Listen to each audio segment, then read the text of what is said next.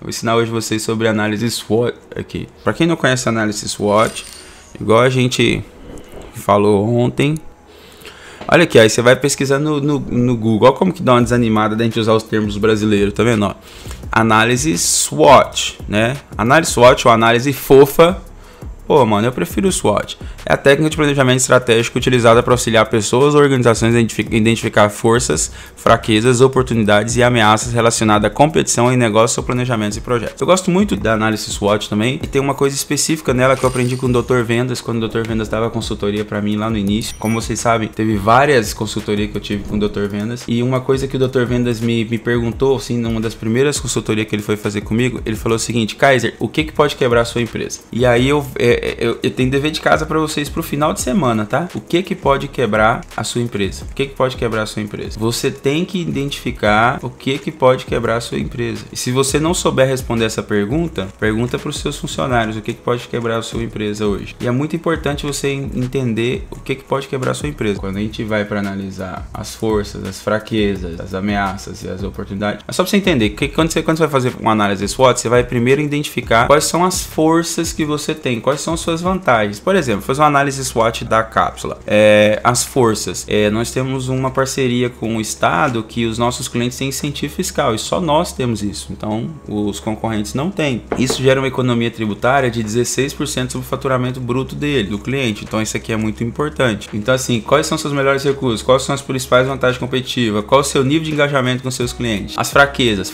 fatores que interferem e prejudicam o andamento do negócio. Basta a si mesmo a seguinte pergunta: Como, como é a minha mão de obra, falta de conhecimento ou treinamento? O que eu posso oferecer de melhor? O que nós que nos faz perder vendas ou aumentar os custos? Fatores externos. Isso aí é fatores interno e externo, tá? Olha que legal. Oportunidade. Força externa que, que influencia positivamente a empresa. Pense quais são os problemas que enfrentam com a economia, quais fatores políticos, econômicos, sociais, tecnológicos. Pontos externos que influenciam aí ameaças. Pontos externos que influenciam negativamente na empresa. Precisa ser tratado com muita cautela, pois influenciam diretamente o seu planejamento estratégico da empresa e assim seus resultados.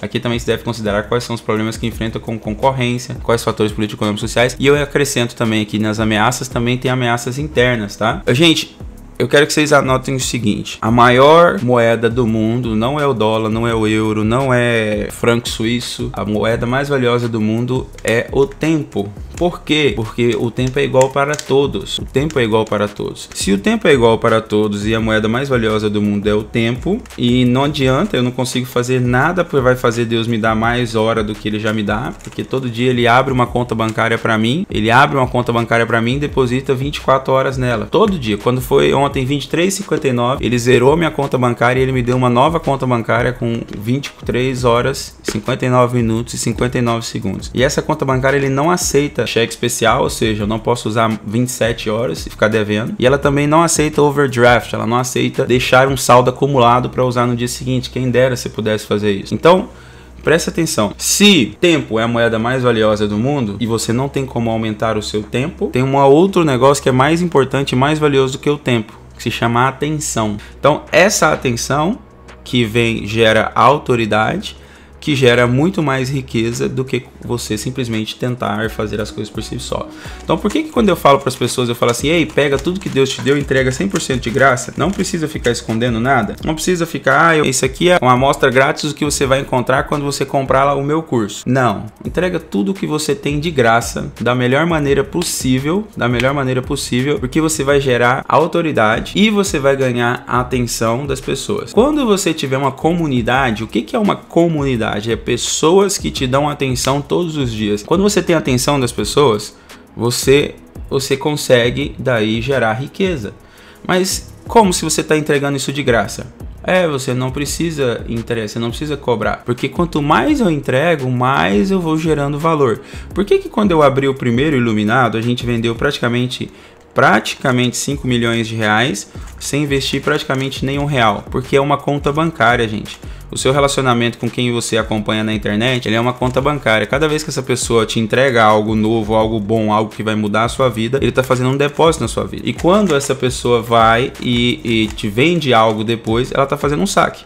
O que que muitas pessoas fazem? Muitas pessoas vai lá, faz 30 dias de live, uma sequência de live, vem e faz um saque. Tem algo errado com isso, Kaiser? Não, não tem nada errado. Só que eu creio que ainda é pouco o, o, o valor que vai estar tá depositado na conta já para sacar. Então eu prefiro continuar depositando, continuar depositando, continuar depositando e só sacar depois de muito tempo, depois de muito tempo. E quando que e por quê? Porque daí quando você vai fazer o saque, você pode fazer um saque muito menor que não vai influenciar tanto a vida das pessoas e vai proporcionar uma transformação muito maior para elas. Vou dar um exemplo para vocês.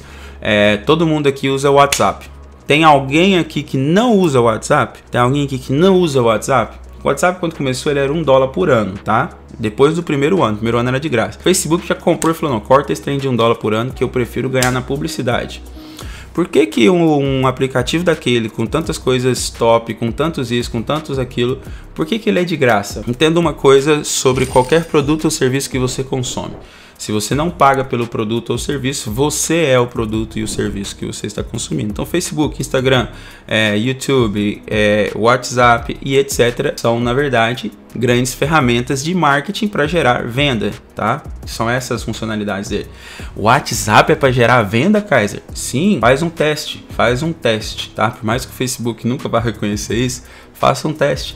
Começa a mandar, manda mensagem para um brother seu assim, mano, eu tô pensando muito comprar uma, um, algo que você vê que você vê que tem anúncio na internet. Tô pensando muito comprar uma Amarok, cara, zero quilômetro. O que, que você acha? Aí seu amigo fala assim, mano, tem a Amarok, né, da, da Volkswagen, mas tem a Toyota também, cara, você não sei o que. E aí vocês trocam as quatro, cinco mensagens ali falando sobre carros e daqui a pouco você vai lá, tá navegando no navegador e você vai ver anúncio de carro. Mas de qual carro? Da Amarok. Uau, como assim? É, exato. Então assim, são usados para poder dar, dar esse, esse, esse, essas ferramentas para poder usar isso. Então quando você tem a atenção das pessoas, agora imagine o seguinte, gente, se o WhatsApp, se o WhatsApp hoje vira e fala assim, ei, gente, é, eu não estou conseguindo pagar minhas contas, porque ele dá prejuízo. Dava prejuízo, né? Até pouco tempo atrás. Que ele, dá, ele dá prejuízo, né? Foi comprado. Uma empresa que dá prejuízo, uma empresa que dá prejuízo foi comprada por 16 bilhões de dólares. Aí dá bug na mente. Para você entender sobre isso, eu tenho que te entregar a fórmula do bilhão.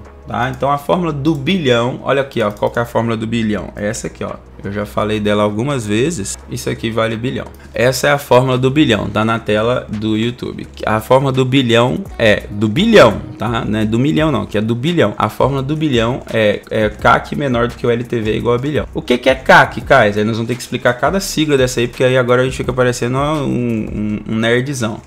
CAC é custo de aquisição de cliente. Vou explicar da maneira mais leiga possível. Contrato uma gráfica para fazer 50, para fazer mil panfletos para mim. Aí eu gasto 50 reais. E aí eu contrato uma pessoa para ficar no sinal entregando esses mil panfletos para mim e eu pago 50 reais para essa, essa pessoa. Eu gastei quanto nessa transação? 100 reais, tá? Então este é o custo de aquisição de cliente. Quantos clientes eu adquiri? Vamos lá, explicar a fórmula do bilhão. Hoje, hoje eu peguei pesado. Esse cara pediu para ensinar fazer milhão, vou ensinar a fazer bilhão de uma vez. Vocês estão entendendo, né? CAC é igual custo, customer, customer acquisition cost ou custo de aquisição de cliente. Como que eu calculo ele? Como calcular o CAC? Paguei 50 reais em mil panfletos. Mil panfletos. Paguei 50 reais em uma pessoa para panfletar para entregar esses mil panfletos. Total